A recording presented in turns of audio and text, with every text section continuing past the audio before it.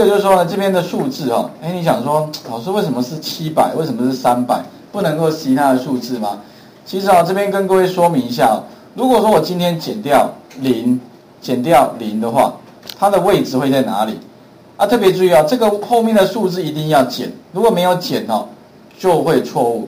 那为什么呢？你按一个 F one 就会知道了。其实这个 F one 哈，按下去之后呢，有相关的说明啊。好，不过还好，它这电脑都有装那个 VBA 的说明。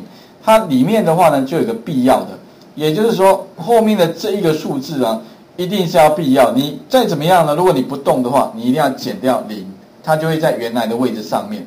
OK。那为什么会是七百？为什么是三百呢？我们来看一下哈。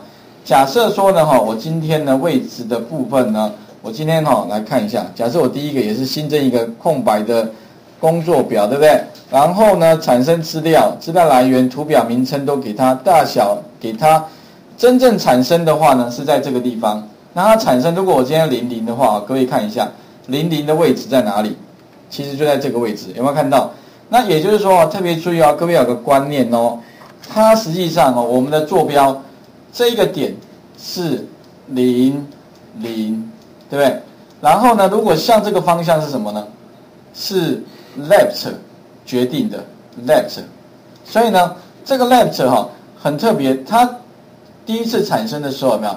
它的 left 刚好会在哪里呢？刚好会在七百，好，初始值的意思啊，就是你。只要你不做任何设定的话，这个图哈，Excel 帮你产生就会放在七百的位置。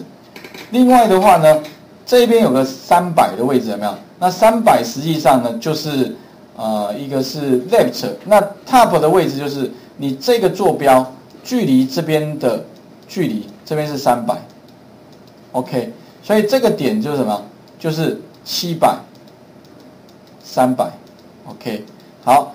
那这边问题来了哈，啊特别特别注意哦，这个方向跟你以前学的 x y 不一样哦，x 是正的没方没错吧对？